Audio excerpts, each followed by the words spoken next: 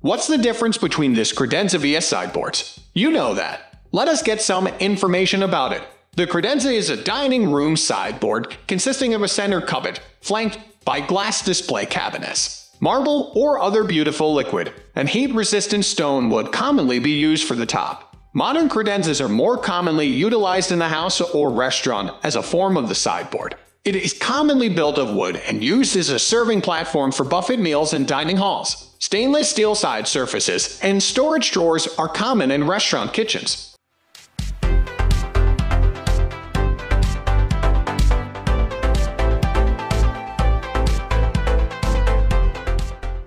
Features of credenza. Credenzas are low slung, long pieces of furniture that are typically used for storing things. Additional storage space can be found in the form of a hutch or a variety of shelves on many credenzas. A credenza is a versatile piece of furniture that may be used in both the home and the office. A credenza is generally placed in the dining room, where it can store and display dinnerware or keepsakes, and can be used to spread out food during gatherings in an appealing and open arrangement.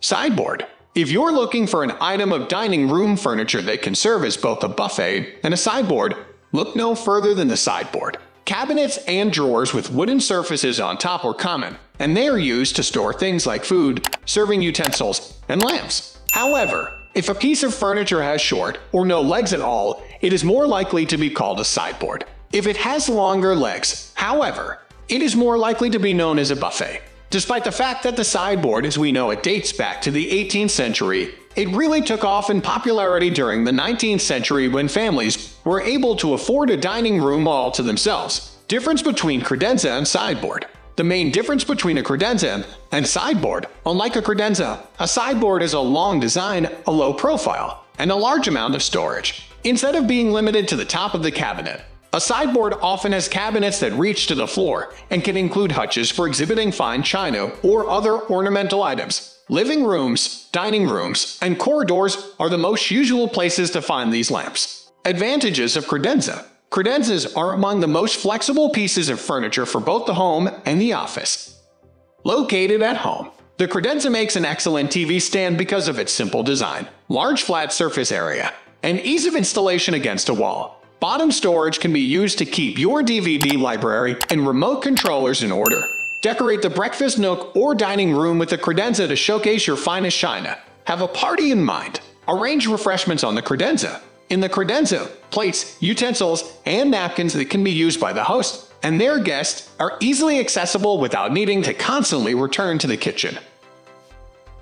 In the workplace, the credenza is a wonderful piece of furniture to have in your house but it also works well at the workplace. Adding a credenza to a desk gives a busy worker or executive more area to work and store their belongings. A credenza located against a wall in the conference room can be used to organize reports and handouts for easy access. With a credenza, you can keep the executive offices free of paperwork and other office detritus.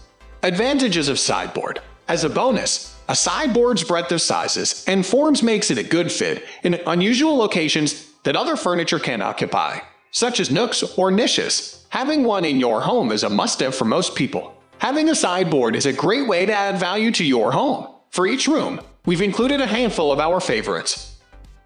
Serve as a marker in the hallway. Be prepared to leave and enter the house with only what you need. Fashionable decorations go a long way. And first impressions are everything. Keys, scarves, and even your shoes can all be stored in this handy organizer more living room advantages, and how to save space in this congested area. This is ideal for storing necessities on top and in the drawers at the same time.